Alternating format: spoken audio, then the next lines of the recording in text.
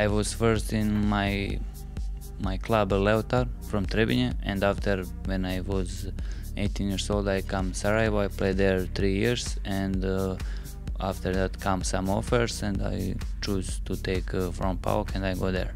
I play last game something about 50 games. This year also almost all games, 22 I think. Last year you won, you won the cup. Can you explain me a bit all the the journey to, to go to the final? I win the final. Yes, we go step by step and we win this game 2-1. It was very hard game.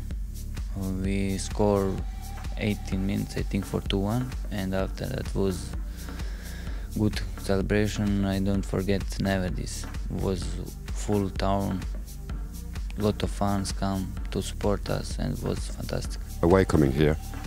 Because I think that is uh, good for me for my career. Also, is Standard is big club, and uh, I hope in to do good things with Standard. PAOK have also very good fans, support us every game, and uh, this time I want to say to fans PAOK, thank you for everything what they give me.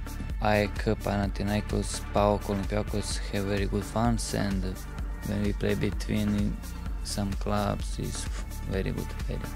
And are you the, the kind of guy who's um, who's better when he plays in that kind of atmosphere? Yes, this is, this is for me better because fans support you and you will give more than 100% sure. Are you already thinking about about this game on Sunday? Yes, I think because it's very big derby. I know that these fans here very good, support a lot of players, and uh, I hope that will I can play this game and I, if I play, I will get everything for the winning.